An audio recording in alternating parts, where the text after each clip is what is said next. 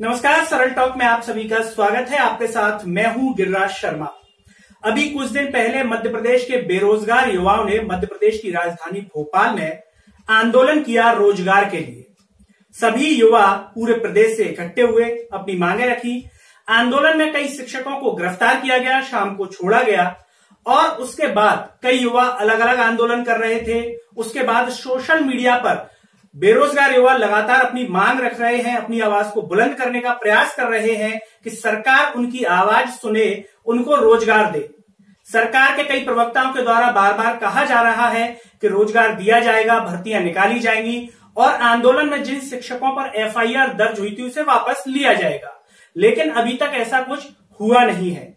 आंदोलन का प्रभाव कितना रहा, कितना नहीं रहा और आंदोलन के बाद छात्रों में किस तरह का माहौल है, आगे की क्या रणनीति है, आज इन सब विषयों पर चर्चा करने के लिए हमारे साथ हैं तपोभूमि कोचिंग के संचालक अवधेश भदौरिया जी। अवधेश जी, इस आंदोलन में अपनी अग्रणी भूमिका निभाते रहे हैं। सोशल मीडिया के माध्यम से कई हज़ार युवा उनसे जुड़े हुए हैं, उनकी आवाज़ को बुलंद कर रहे हैं। अवधेश जी से हम जानेंगे कि आंदोलन कितना प्रभावी रहा। आगे की रणनीति क्या है और सरकार के द्वारा जो बार बार कहा जा रहा है कि भर्तियाँ निकाली जाएँगी उसमें कितनी सच्चाई है कितनी नहीं है या फिर सिर्फ़ संतुष्ट करने के लिए कहा जा रहा है? अवधेश जी बहुत बहुत स्वागत है आपका। जी बहुत बहुत धन्यवाद अवधेश जी सबसे पहले अगर हम बात करें कि भोपाल में जो अभी कुछ दिन पहले आंदोलन हुआ आंदोलन की अगर हम बात करें कितना प्रभावी आप इसे मानते हैं? क्या इस आंदोलन होने के बाद इसमें जो प्रभाव अगर देखा है आंदोलन का क्या रिज़ल्ट निकल करके सामने आया? सबसे पहले तो मैं आपका बहुत बहुत आभारी हूँ उन सभी आंदोलनकारी छात्रों की ओर से, जे, क्योंकि आप वो पहले मीडिया पर्सन हैं जिन्होंने हमारी आवाज़ को सही तरीके से उठाया। है और सभी दर्शकों से भी मैं ये अपील करना चाहूँगा कि आप सरल टॉक को सब्सक्राइब ज़रूर कर लें, क्योंकि हमारी बात को पूर्ण निष्पक्ष तरीके से अगर कोई मीडिया चैनल उठा रहा है तो वो सरल टॉक। तो सर अब आते हैं प्रश्न पे कि ये आंदोलन कितना प्रभावशाली रहा। सबसे पहले मैं बताऊँ सर कि लगभग दस हज़ार बच्चे चार तारीख के आंदोलन में उपस्थित रहे। काफ़ी बच्चों को बाहर रोक लिया गया। जी। उनकी गाड़ियों को रोक लिया गया उनको वहीं से वापस कर दिया गया। कुछ लोगों को रोशनपुरा के आसपास की जगह से रोक लिया गया। और काफ़ी बच्चों ने रोशनपुरा में आंदोलन भी किया। तकरीबन पाँच या दस मिनट के अंदर अंदर हमारे महत्वपूर्ण महत्वपूर्ण जो शिक्षक थे छात्र थे छात्र नेता थे उनको पुलिस वैन में ले जाया गया और उनको बंदी बना लिया गया। लेकिन फिर भी ये आंदोलन इतना प्रभावशाली हुआ है कि आज बच्चों को पता है कि सरकार का ये काम है हमको नौकरी देना। जी। सरकार ये रोना नहीं रो सकती कि हमारे पास वित्त नहीं है। सरकार ये नहीं कह सकती कि सरकारी नौकरियाँ कम हैं आप प्राइवेट सेक्टर में जाइए। आज बच्चों को ये समझ में आया है कि अगर हमारी इच्छा जनसेवा करने की है अगर हमारी इच्छा सरकारी नौकरी करने की है तो सरकार का ये कर्तव्य है कि हमको वो सरकारी नौकरी दे। दे। और साथ ही साथ इतना प्रभावशाली कि आज बच्चे डर नहीं रहे हैं। लाठियाँ खाने से। आज बच्चे डर नहीं रहे हैं। उन पर कोई भी एफआईआर कट रही है उससे भी नहीं डर रहे ना लड़के ना लड़कियाँ। हर तरह तरह से हर ज़िले से बच्चे उस आंदोलन में आए और उन्होंने दिखाया कि हमारे अंदर की आत्मा अभी मरी नहीं है। हम अभी ज़िंदा है। बिल्कुल। अब जी आंदोलन को लेकर के कई तरह की बातें आ रही थी। इस तरीके के आरोप भी लग रहे थे कि पैसे भी दिए गए हैं आंदोलन के लिए। इसमें कितनी सच्चाई आप मानते हैं? सबसे पहले तो ये समझना ज़रूरी है कि ये आरोप जो है लगा कौन रहा है? जी। बीजेपी के छोटे मोटे कार्यकर्ता या फिर कहीं पर भी जनता जब इस आंदोलन के बारे में बड़े बड़े नेताओं से बातचीत करती है तो वो लगाते हैं। और हम लोग जब जेल में भी गए थे जो साथी शिक्षक हमारे गए थे तो वहाँ पर भी प्रशासन के कुछ अधिकारियों ने भी जनता को तोड़ने के लिए ऐसे आरोप लगाए और खुल्लम खुल्ला रेट बोली कि आपके फला फला शिक्षक को एक करोड़ रुपए मिले। जी।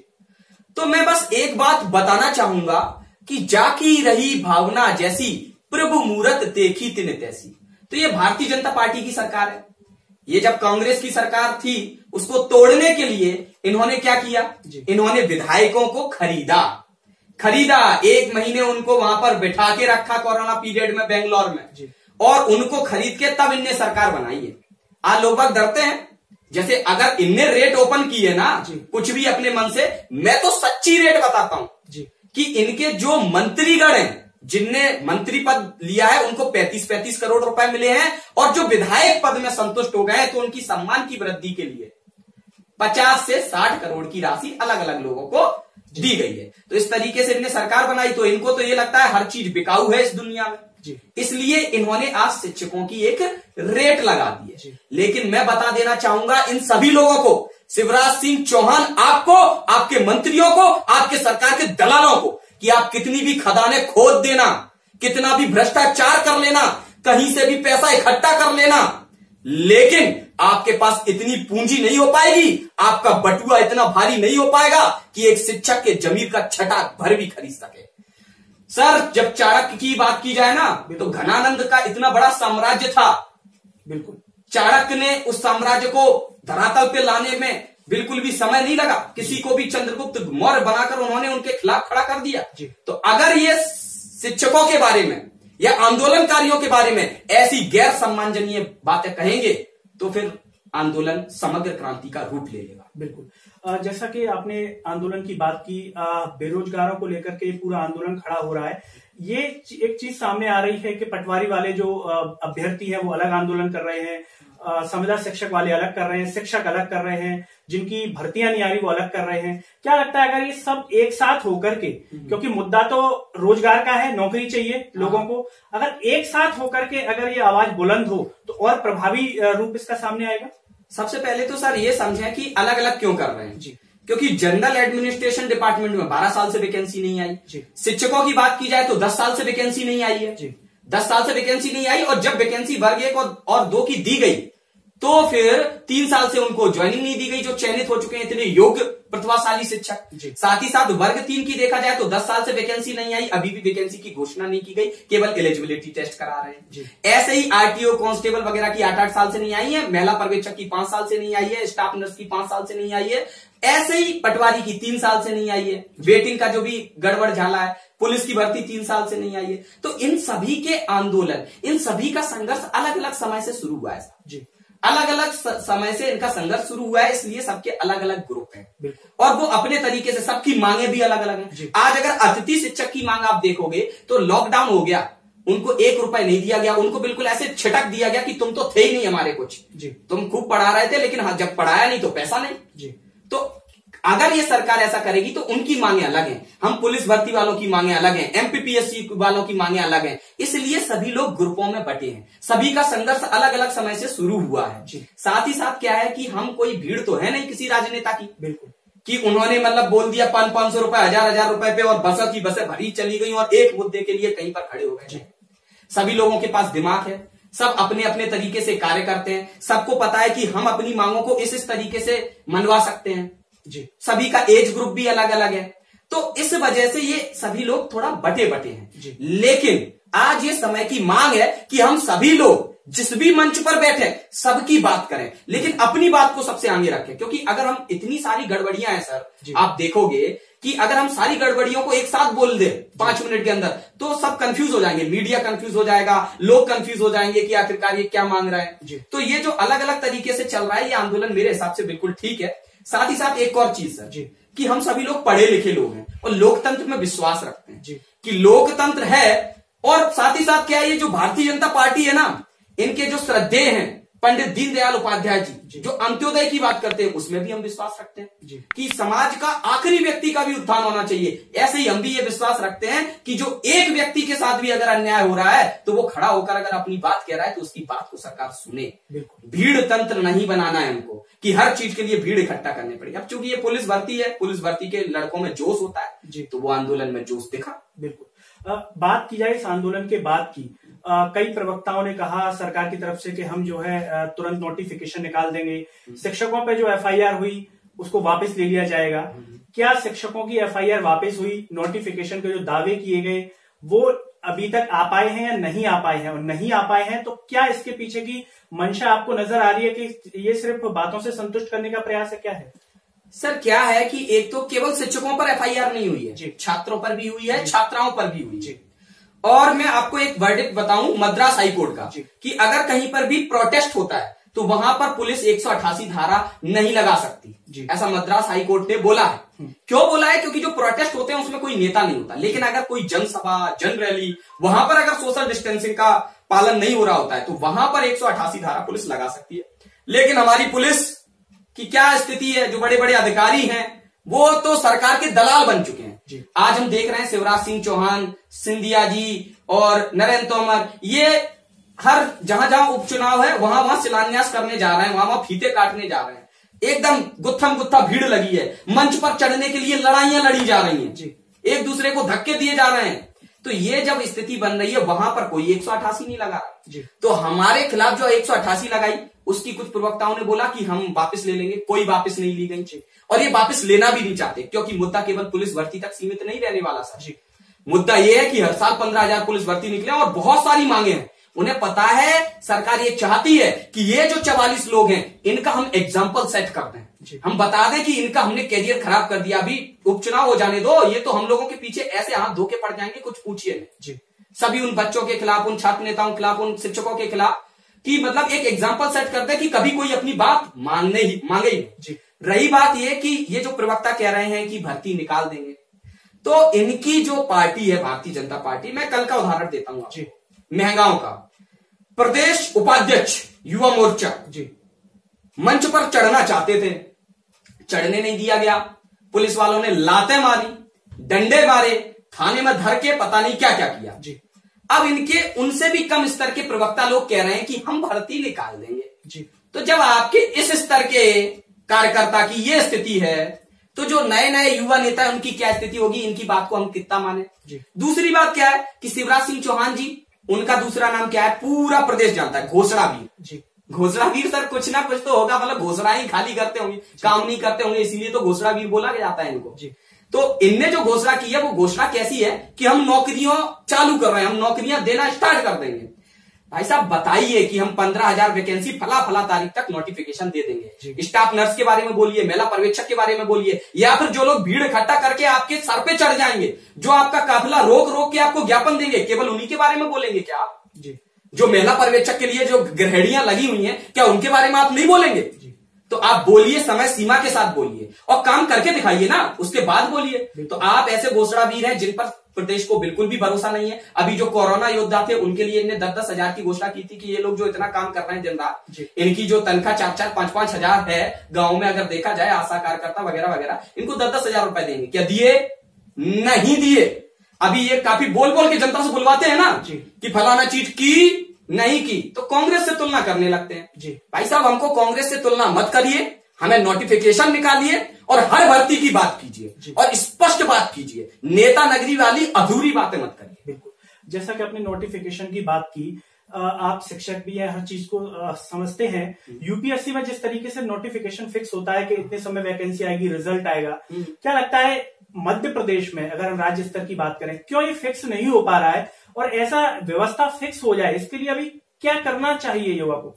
एक्चुअली में क्या है सर कि जो मध्य प्रदेश है अब देखिए सर यूपीएससी में लिमिटेड कैंडिडेट है। जी।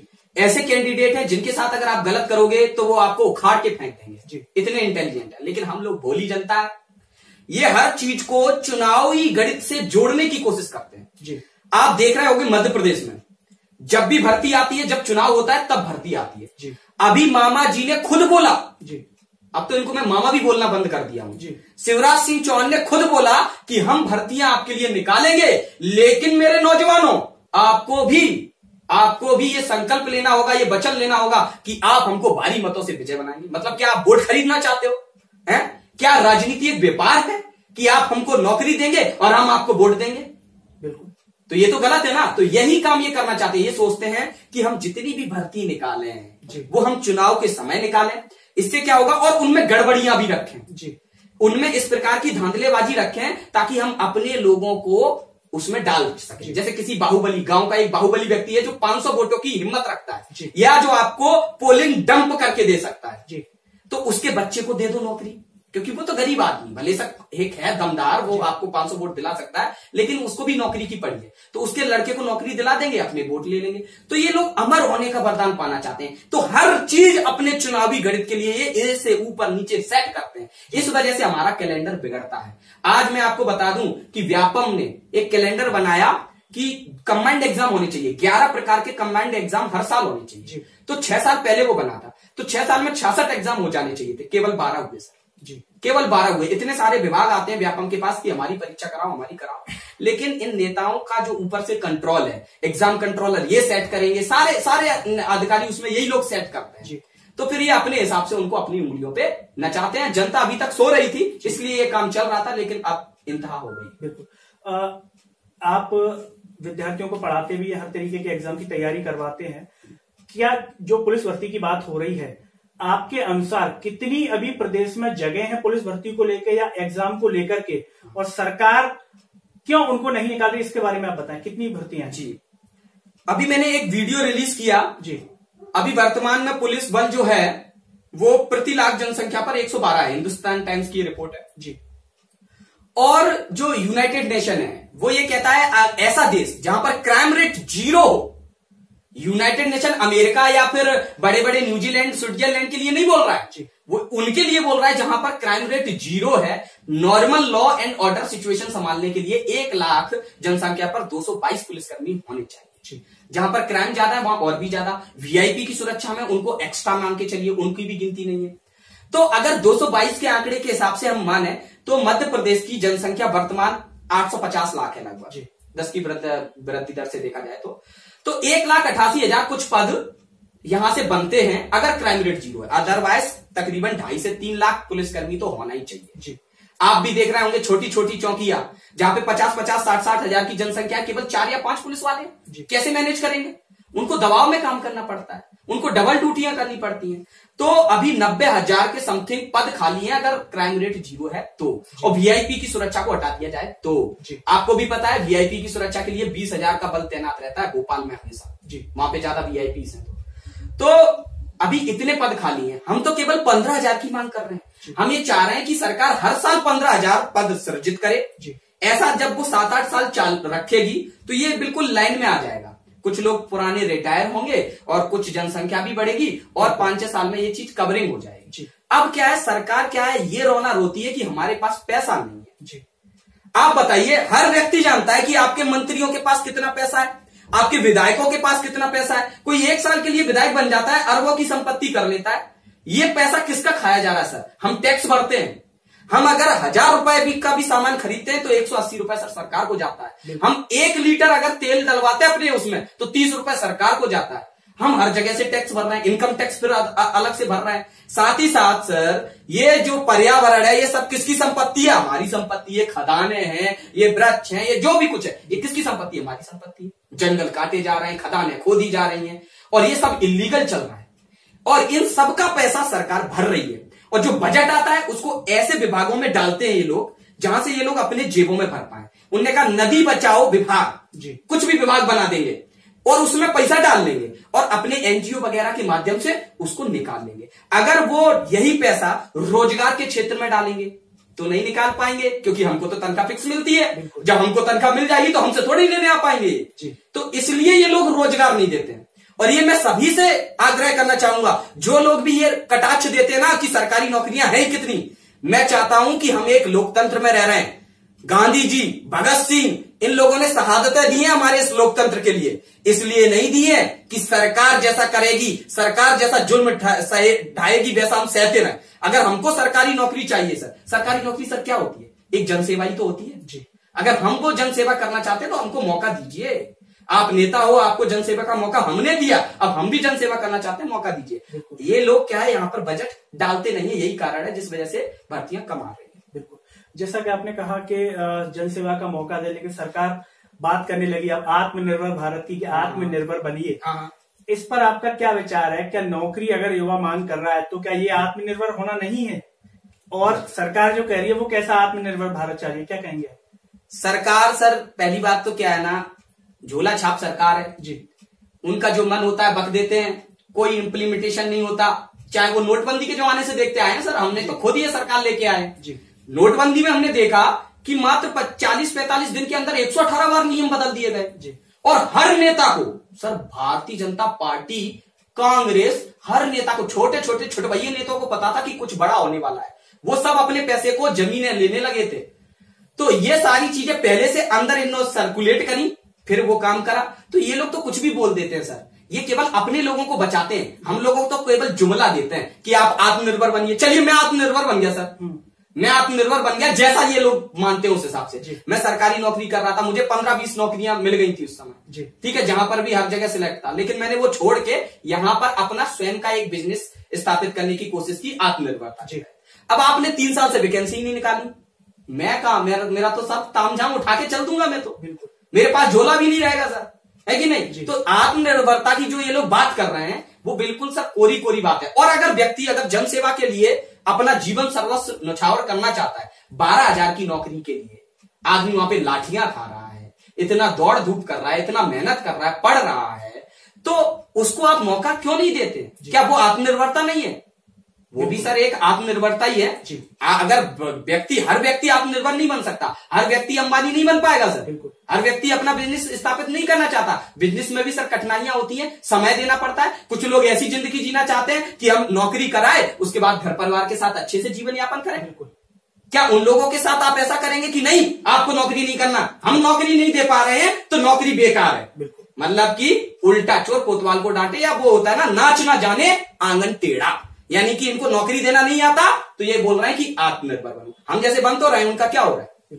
अगर हम बात करें जैसा कि अभी घोषणाएँ की जा रही है कि नोटिफिकेशन निकाला जाएगा आगे की क्या रणनीति होगी जिस तरीके से समझ में आ रहा है अगर नोटिफिकेशन नहीं आया अभी तो बोला जा रहा है। हाँ। चुनाव आने वाले हैं उपचुनाव आने वाले हैं। क्या युवाओं की रणनीति है आगे किस तरीके से विरोध किया जाएगा? अगर नहीं आपकी मांगे मानी जाती जैसा कि चार मांगे थी कि आयु सीमा सैंतीस साल की जाए पंद्रह हज़ार आरक्षक की भर्ती हो और पीईबी से एग्ज़ाम कराई जाए। अभी इन मांगों पर कोई ऐसा ठोस जो है सामने कुछ दिखाई नहीं दे रहा है। नहीं मांगी जाती है तो किस तरीके से और इस आंदोलन को आगे ले जाया जाएगा?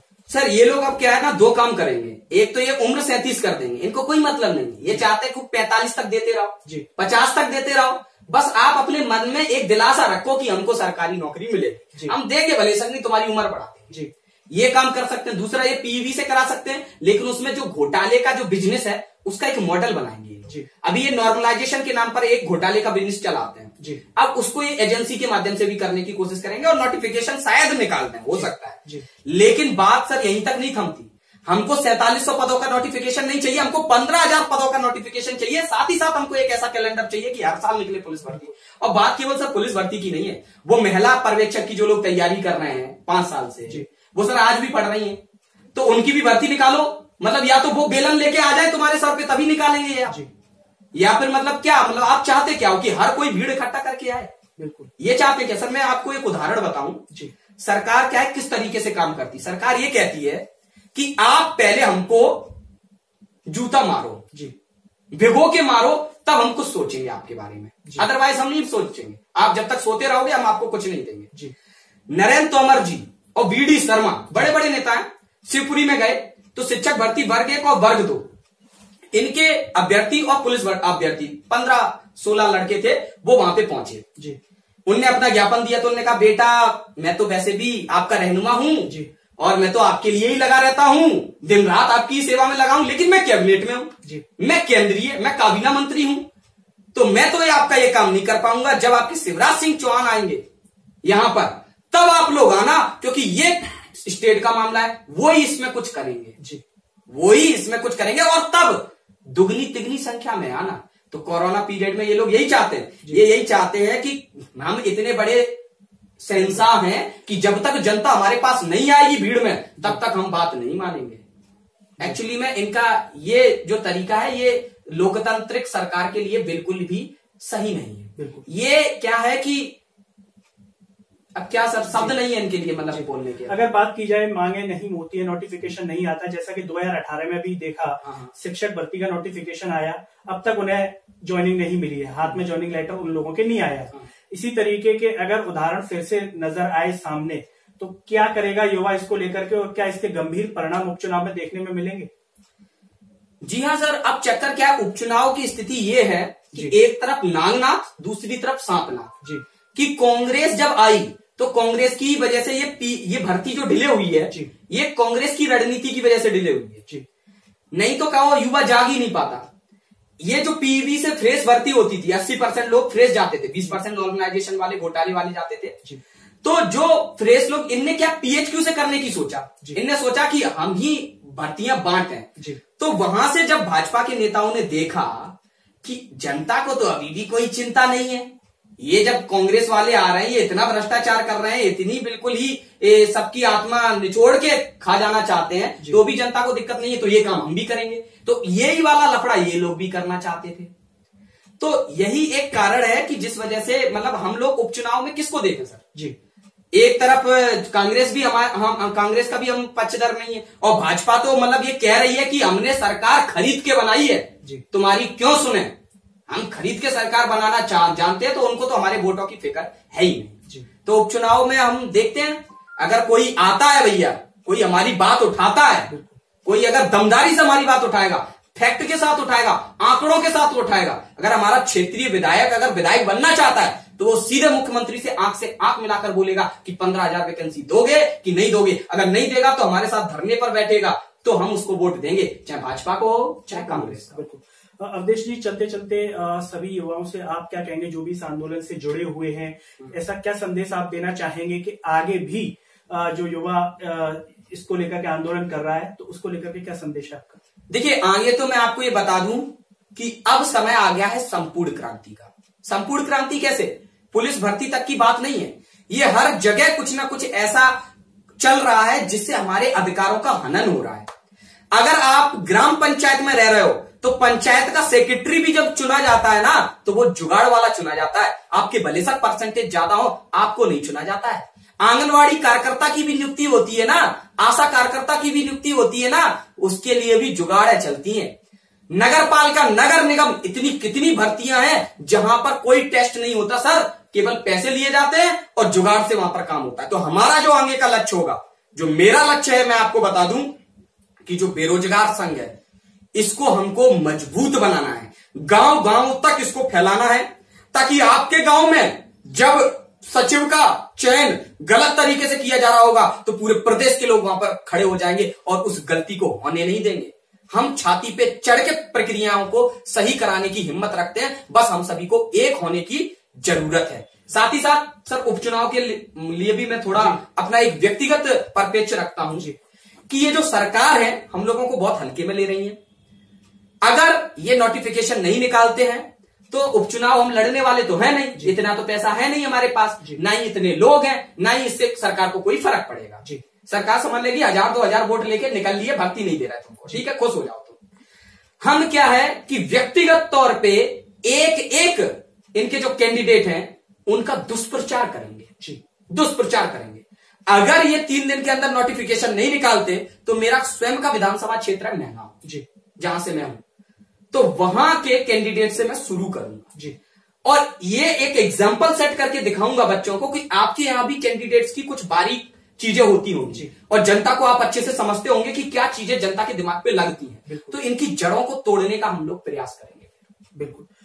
तो दर्शकों ये थे हमारे साथ तपोभूमि कोचिंग के संचालक अवधेश भदौरिया जिन्होंने बेरोजगार युवा आंदोलन पर खुलकर के चर्चा की अपना पक्ष रखा बात रखी और साथ ही साथ कई ऐसी बातें बताई जो सरकार जिस तरीके से जनता के साथ खेल रही है जनता की जो साइकोलॉजी है उसके साथ खेल रही है, और साथ ही साथ उन्होंने कहा कि विधानसभा उपचुनाव को लेकर के भी वो अपने क्षेत्र में, अगर मांगे नहीं मानी गई तो वर्तमान सरकार के जो कैंडिडेट होंगे, उनकी जो कमियाँ होंगी, उनको जनता के सामने लेकर के आएँगे। साथ ही साथ कहा कि यह आंदोलन रुकने वाला नहीं है, आगे चलना है, जब तक कि कैलेंडर फिक्स ना हो जाए हर साल भर्तियाँ ना दी जाए, रोज़गार ना दिया जाए, तब तक के लिए साथ ही साथ अवदेश जी हम आपका बहुत हृदय से धन्यवाद करना चाहेंगे, जो आप अपना कीमती समय निकाल करके सरल टॉक के स्टूडियो में आए। तो दोस्तों, मेरे साथ फ़िलहाल इतना ही। अगले वीडियो में आपसे फिर होगी मुलाकात। तब तक के लिए मुझे दीजिए इजाज़त। नमस्कार।